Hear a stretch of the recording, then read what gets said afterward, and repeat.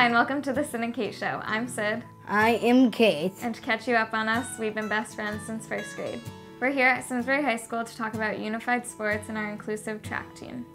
What sports do you do for unified sports? I was still on, on the unified uh, uh, uh, volleyball, and uh, so I was must be doing profile basketball. And we're both on the high school track team.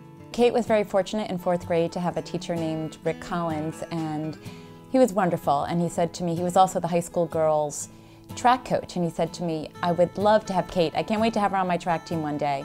And I was thinking, oh my gosh, I can't imagine Cate running where she would want to. And sure enough, Cate got to high school and Rick recruited her. We want you to meet our track coach, Mr. Collins. Uh, this is my this is my, this is my new bud. Yep. Collins. I'm here because he was my bud, and he is my track coach. Fourth grade teacher. Um, he's my fourth grade teacher before I met him, and I was well in middle school, and I gave him the chicken.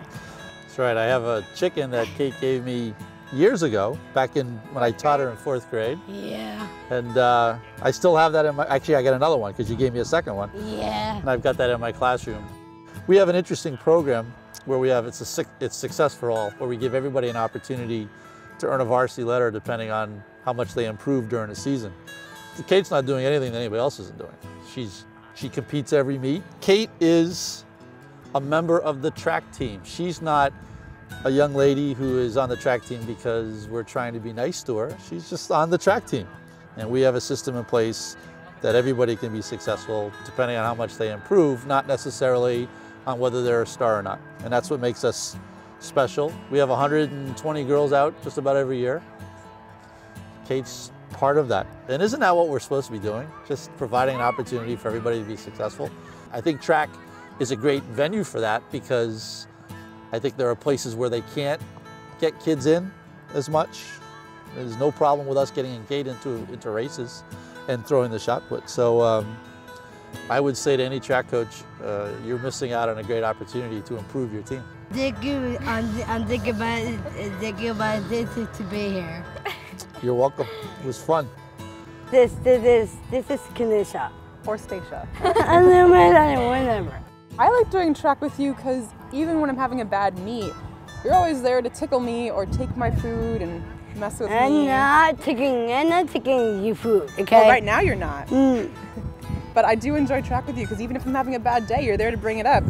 It's great having an inclusive sport. I appreciate the atmosphere not being as competitive, but also being one to build a community and have fun. Making other people happy is really what a sport is about, not so much about being top and bottom.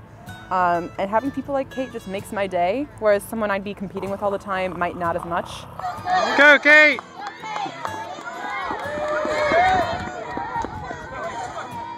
Unified Sports joins students with intellectual disabilities and, and, other disabilities and typical students together on one team. It's wonderful.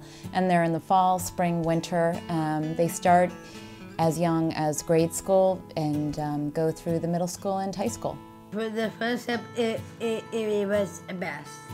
Friendship is very important and everyone needs to value that. And go online for more information about unified sports.